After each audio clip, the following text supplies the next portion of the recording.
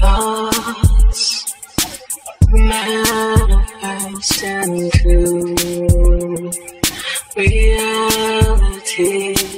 transition to reality.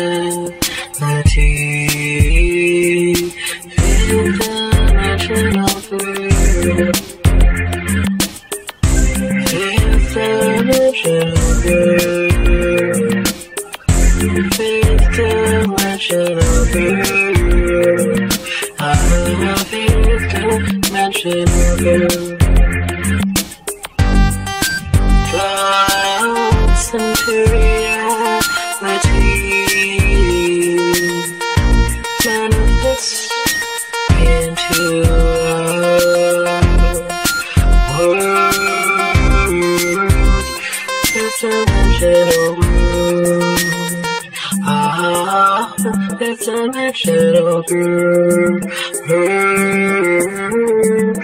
Dimensional world. Fifth dimensional world. And I'm a fifth dimensional girl. In our fifth dimensional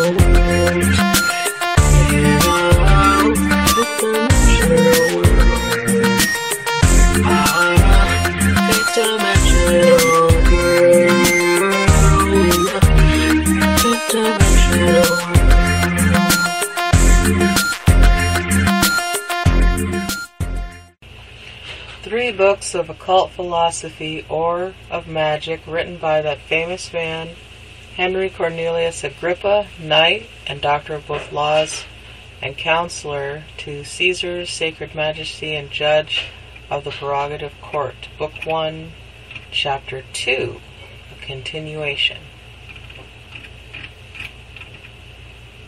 Chapter 2 What magic is, what are the parts thereof, and how the professors thereof must be qualified. Magic is a faculty of wonderful virtue, full of most high mysteries, containing the most profound contemplation of most secret things, together with the nature, power, quality, substance, and virtues thereof, as also the knowledge of whole nature, and it doth instruct us concerning the differing and agreement of things amongst themselves, whence it produce, produceth its wonderful effects, by uniting the virtues of things through the application of them one to the other, and to their inferior suitable subjects, joining and knitting them together thoroughly by the powers and virtues of the superior bodies. This is the most perfect and chief science, that sacred and sublimer kind of philosophy, and lastly, the most absolute perfection of all most excellent philosophy foreseeing that all regulative philosophy is divided into natural, mathematical, and theological. Natural philosophy teacheth the nature of those things which are in the world, searching and inquiring into their causes, effects, times, places, fashions, events, their whole and parts. Also, the number and the nature of those things, called elements, what fire, earth, air forth brings, from whence the heavens their beginnings had, whence tide, whence rainbow, in gay colors clad. What makes the clouds that gathered are, and black, to send forth lightnings and a thundering crack? What doth the nightly flames and comets make? What makes the earth to swell and then to quake? What is the seed of metals and of gold? What virtues, wealth, doth nature's coffer hold. All these things doth natural philosophy, the viewer of nature, contain, teaching us according to Virgil's muse, whence all things flow, whence mankind, beast, whence fire, whence rain and snow, whence earthquakes are, why the whole ocean beats.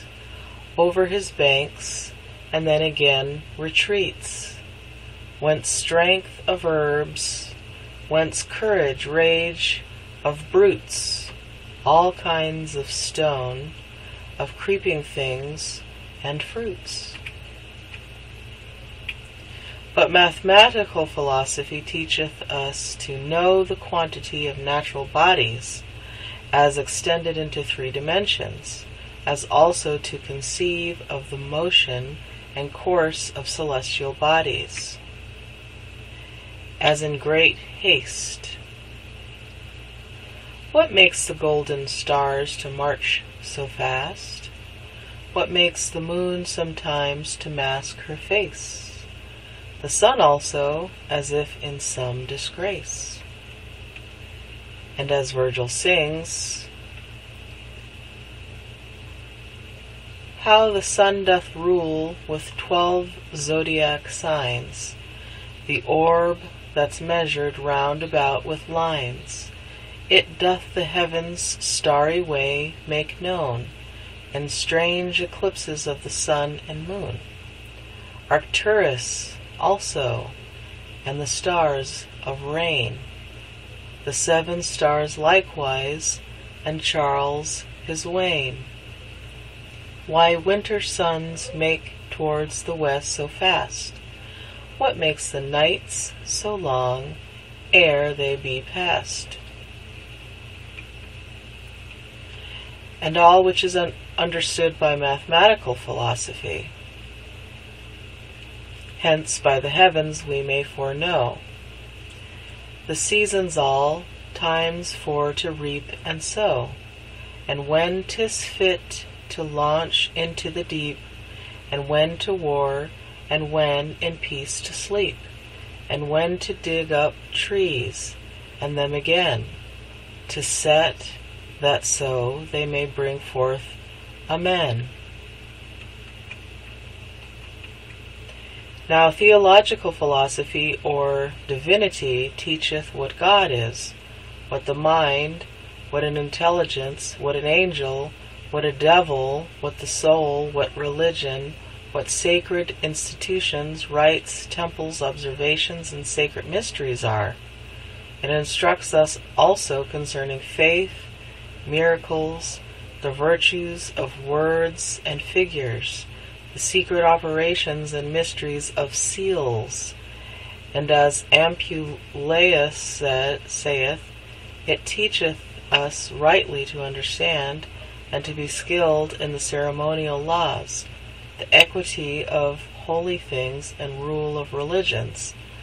But to recollect myself, these three principal faculties magic comprehends, unites, and actuates, Deservedly, therefore, was it by the ancients esteemed as the highest and most sacred philosophy.